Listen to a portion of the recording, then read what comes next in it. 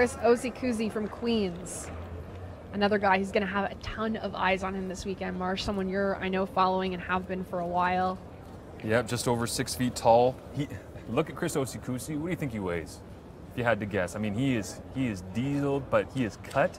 He weighs 192 No, pounds. I was gonna say he's not two even, something. He's not Come even on. 200 pounds. He's 192. He measured in at No way. the other day.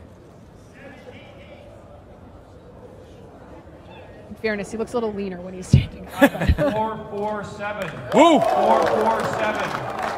Time of 447. Chris Osei-Kusi is a first round 447 for Chris Osei-Kusi. You can see he's happy with that, given the fist bump.